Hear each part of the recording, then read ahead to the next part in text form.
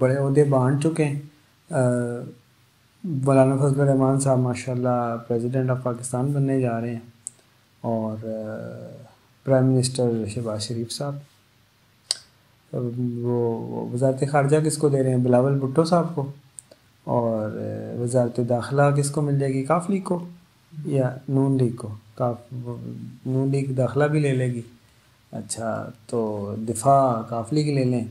वजारत आला भी हमजा शहबाज को दे दें या कोई, हमजा शहबाज एम पी है ना?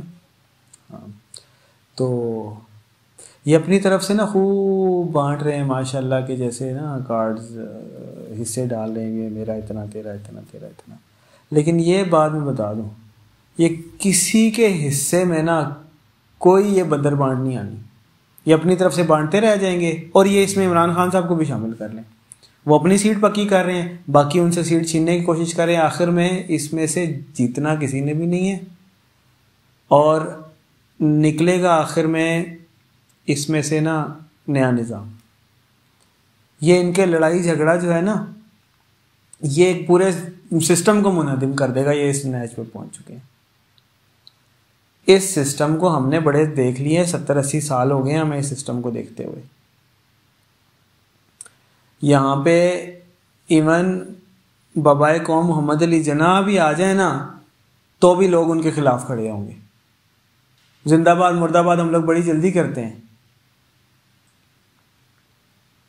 ये यहाँ पे मतलब ऐसा बंदा जो एक यूनिवर्सिटी का चांसलर रहा है वो बंदा आकर क्या बात करता है? स्टेज पे आते साथ मतलब क्या मैं, वर्ड भी नहीं अच्छा लगता बोलते हुए।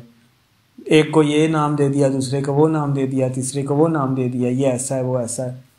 नेम कॉलिंग मतलब ये मुल्क का वज़ीर अजम कर रहा है। इसलिए कि सिस्टम ही गंदा है। जब तक इसके अंदर से गुजरते रहेंगे ना, इस सिस्टम में से गुजरते रहेंगे गुजरते रहेंगे। एक तरफ़ से आप एक गंदगी का ढेर हो, नाला हो, एक तरफ़ से आप साफ़ सुथरे नहा धोकर कपड़े पहन कर इतर लगा कर जाएँ, दूसरी तरफ़ से आपने वैसे ही निकलना जैसे गंदा बंदा निकला था।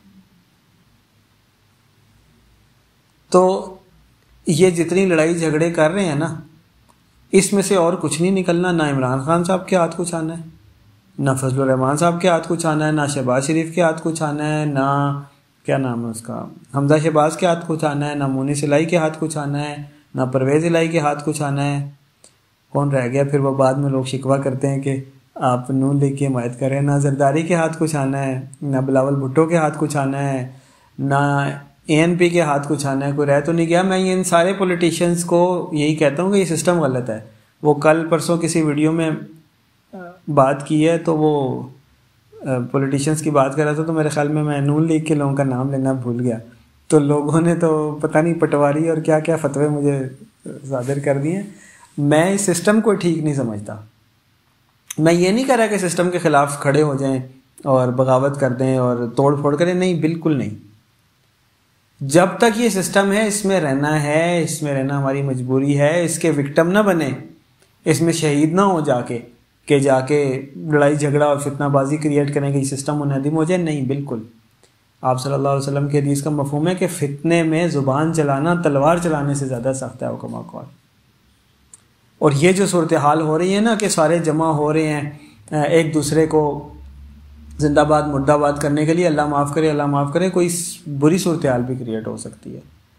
और फितने के दौर में, फितने को हवा देने वाला आप सल्लल्लाहु अलैहि वसल्लम की हदीस का मफहम है कि फितने के दौर में सोया हुआ शख्स जागे हुए शख्स से बेहतर होगा। कुछ ये दो तीन हदीस में मुख्तलिफ़ चीज़ें इस्तेमाल हुई उनका मफहम ये बनता है कि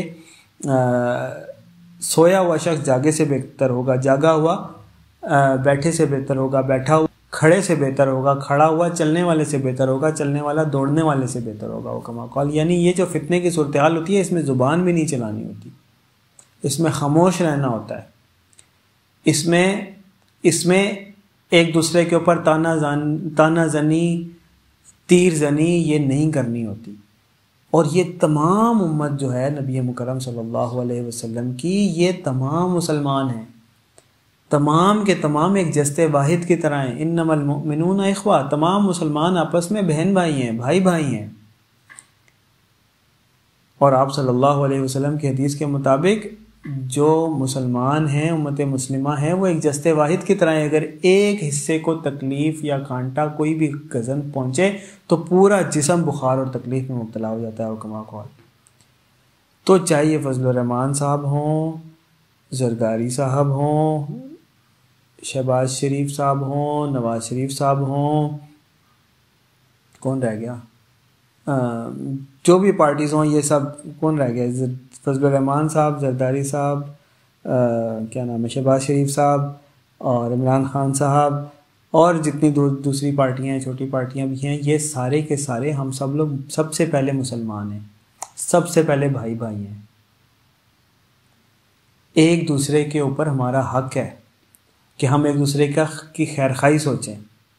हाँ जो करप्ट है झूठा है फिर वो बात आ जाएगी लोग कहेंगे ये तो करप्ट है। भाई करप्ट है तो प्रेसिडेंट बन, वो प्राइम मिनिस्टर बन गया ना आप सजा दें उनको। तो अगर सजा साबित नहीं है तो फिर सबसे ज़्यादा इस्लामिक भाईचारा जो है, वो अहम है। एक दूसरे के ख्याल रखें। और ये तमाम मुसलमानों को जस्तेवायद की तरह समझे। एक सीसा पिलाई कान हम बुनियान मरसूस बनकर कुफर के सामने खड़े हों, बजाय इसके कि आपस में लड़ें। तो अगर ऐसा नहीं करेंगे तो फितने में शामिल होंगे और उस फितने के अंदर जो लोग काम आ जाते हैं, जो लोग उसको हवा देने का बायस बनते हैं, चाहे एक को जालिम कहा जा रहा हो, दूसरे को मजलूम कहा जा रहा हो, एक को शहीद, दूसरे को कातिल कहा जा रहा हो इवेंचुअली अगर वो फितने के अंदर मुबतला हुए, फितने को हवा देने में हिस्सा डाला तो बहुत मुश्किल है कि वो उनका हशर अहल खैर में से हो। अल्लाह ताला सबको माफ़ फरमाए इन